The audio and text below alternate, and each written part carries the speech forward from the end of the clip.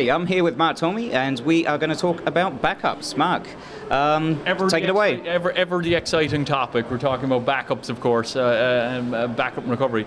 So, I suppose the big thing about uh, backup, where people ask me a lot, is what is the future of backup? Right? I- I- will backup ever go away? The answer is backup will not ever go away. Um, you're, you're always going to need some level of re- recovery, and to have recovery, you're going to have to take a backup of some form. So when we actually look around and we look at how backups are actually structured uh, uh, today, you end up with a, an awful lot of these silos, right? You have physical administrators taking backups, VMware administrators taking backups, other virtualization administrators taking backups, application owners, storage administrators, right?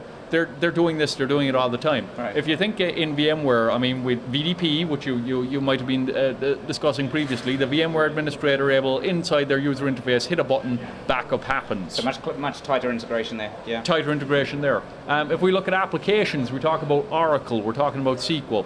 Um, Oracle have an interesting thing going on. Uh, not only do they talk to the CIO, but they always look to take care of their database administrators by extending the functionality in the core suite to extend their jobs. Right, right. So storage management functionality went into uh, the Oracle database, high availability, clustering, and backup with RMAN, Recovery Manager. So the Oracle uh, database administrator able to take backups um, as they choose, when they choose, usually before patches. They're usually doing this before patching. Um, they're not going to wait for the standard backup administrator to um, oh, run a backup job for me because I need to Yes. upgrade the Oracle database. They're going to have their recovery sitting in the back just in case. Does it- Question. but what does this kind of mean for like larger enterprises that have very siloed roles doing Yeah. different things? Does that mean that the uh, the backup administrator role is going away? No, it means the backup administrator role, uh, the, the job there changes, right? Yeah. It changes to move towards, I put it this way, more to a more um,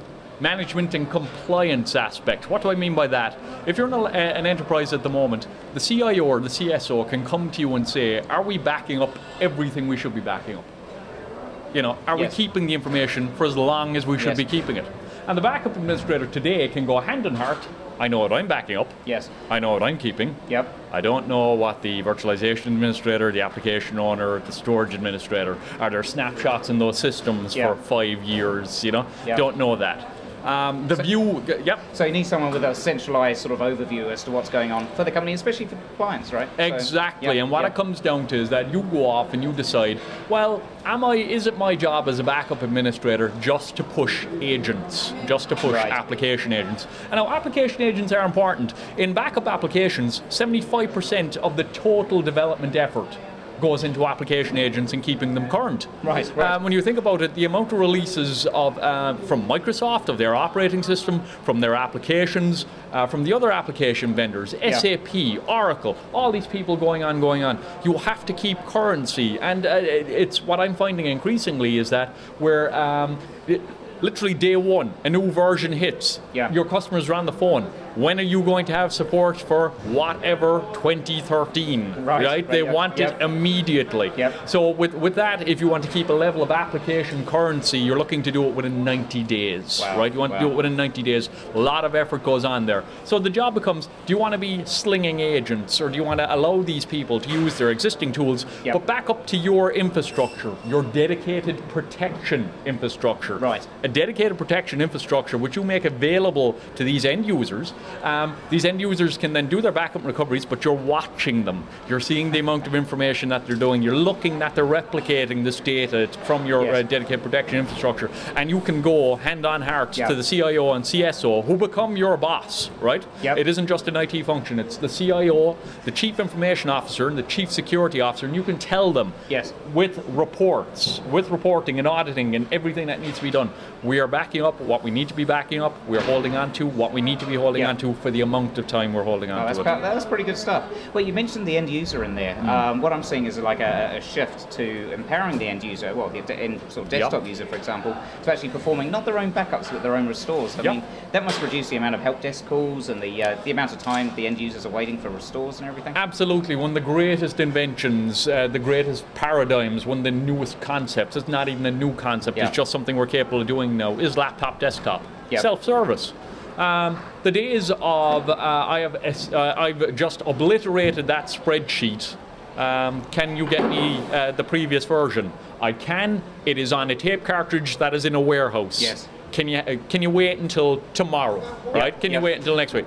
No, and you, you look at that, everything old is new again because um, you look at technology such as Amazon Glacier, right? They have like the four to five hour service level. That pretty much everything is old is new again. But with the even with the self service stuff, people aren't going to wait the four to five hours. No. They want to log in with their, their standard uh, network login through your Active Directory, your LDAP, whatever you're doing, put in their credentials, browse through their file system, click the point in time, hit recover. Yep. They want that spreadsheet back. They want the PowerPoint back. They want whatever they absolutely they obliterated by accident. People these days are used to that, aren't they? They're sort of, uh, you know, it's like Instant gratification. that's that's the very words I was going to use. Yep, absolute yep. instant gratification, uh, because these are, you know, we are the, uh, we're now the, um, the generation of Dropbox. We're now the generation of simplicity, that file sharing that Yep. goes on there, the oxygen clouds of the world, and Yep. so on. But there's still the aspect there where you want your instant recovery, that instant gratification Yep, for what happened. Don't want to be hanging around. you don't want to be hang- hanging around. So one thing you mentioned there, you touched on tape. Yep. I mean, what are you seeing out there with customers? Uh, Is there a, you know, you always hear the thing, tape is dead. That's been going on for a few years now. Tape is not dead, Who you speak right? to, right? Uh, Uh, here we- what do you see? tape, tape is not dead, right? Still there. Uh, yeah, it's still there, and it, it's going to be there for a while to come. What I will say is that for operational backup and recovery, it is dead. For operational backup and recovery, this isn't a transition that's happening. For operational backup and recovery, um, the first point of restore is disk, right? Yep. And for the most part, it is deduplicated disk, Right. right? It is deduplicated disk. Um, tape moving to the much more longer archival, longer retention areas where you get no deduplication, you get no compression, right? Yep. What people don't really know and, and what they might not understand is we talk about a company like EMC. Um, EMC has always sold tape, right? Yes. In such a way that if there was an order to be fulfilled, we can do it through a partner. Yes. Right? Yep. We're just not in the tape business. So um, I, I, I think what you what you, you look at there for operational backup and recovery, you're 30, 60, 90 days, a year, even getting longer. Yep. The first pointer, uh, the first point there is always disk. When people start saying, "I want it for 10, I want it for 15 years," Yes. Yep. that becomes much more tape And obviously for like, uh, you know, compliance retention, that's a different ball game altogether, isn't it? You can do compliance on disk. You can all you can do Yep. compliance on disk. Yep. Um, so Worm and the, the the concept of locking. I mean, EMC back in 2001 uh, offered Centera, right? Yes, EMC that's right. Centera Yep. compliance edition. Worm in there, right? Um, FLRC, so file level retention compliance on VNX, Yeah. FLRC and VNX, and of course uh, compliance and retention lock compliance edition on data domain. Right, So right. compliance right way through from end to end. People ask, what would I use where? Well, it, you know, do you, are you looking for data deduplication? Are you looking for the snapshotting? You you know you use Yep. your data domain system with deduplication, replication, compression. If you're doing it in your primary storage, you only want a, a bit of it there. You do it in your VNX. Yep. And if you you decide I want purpose-built object storage, right? Yep. You use the Centera.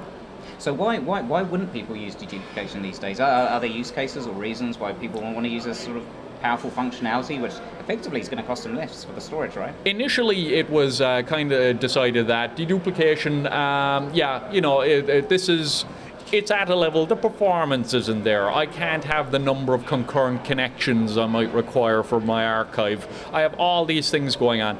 Those limitations are vanishing and they're doing so very quickly. With every release of the data domain operating system, what we actually do is um, the uh, underlying random access, small random uh, access performance gets significantly better. Right. And the number of concurrent connections that you might have in an archiving use case gets significantly better. Right. So, um, where typically a data domain system, we talk about deduplicated disk, um, would have been used for backup. So you'd have a number, usually in the hundreds, of um, either clients or storage nodes writing to a data domain system.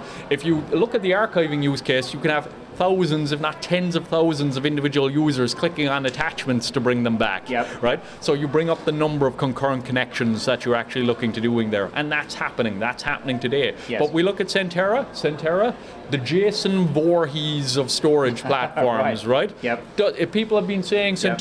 It's going away, it's doing this. It's not going anywhere. We're we're after a decade of Centera. Yep. They- th- you know, there's a, we're in the new decade of Centera. Yes. So the Jason Voorhees of storage platforms. Takes a licking, keeps on ticking, right? Right, so right. It, it's Well, like good to know. yeah, new hardware, new software, the whole thing going on. Gotcha. Hey, well, so you know, looking forward into the future, Mm. you know, what sort of thing do you sort of speculate we could start seeing? I mean, um, you know, where's where, where's backup and recovery going? Speculation. I I don't know. I know nothing besides what uh, what what you know. People what like- sort of trends people like Chad uh, get up on stage and usually tell you what the future is. Well, if we look at ourselves and look at what the competitors Yeah. doing, are, are we seeing any sort of shifts or any trends there at all? there are fu- uh, fundamental shifts uh, there. It does come to these, this whole thing, end administrator, end user empowerment, Yeah. right? What, what, a thing that you touched on. More of that, Right, right. More of that.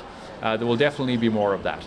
Um, there are things we're looking at as well. What is the value of the backup agent, right? What is Yep. the value there? Obviously, there's the overhead, the hassle, There's the and the updating that you, you the updating that you're doing there, all, Yep. all this stuff going on, what, what's going on. We're looking at that. There's uh, and there's there's pretty much, and I said it before with Amazon, everything old is new again. There's a whole bunch of tech, uh, techniques which might have been abandoned. That cur- you know, Yep. disco is not dead. These things could come back again. Right, In our right. case, disco is dead, but uh, the, these never things know, could come maybe- back. You never know. back, Uh, hopefully not.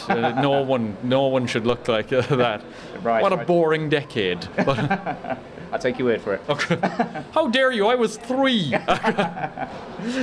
Brilliant. Well, Zilla, pleasure as always. Thank you very much. Very informative. And um, if people out there want to sort of uh, uh, follow you on Twitter or your blog, how can they do that? StorageZilla on Twitter and storagezilla.typepad.com because I'm too lazy to buy a URL on the net. Zilla, thank you. Thank you.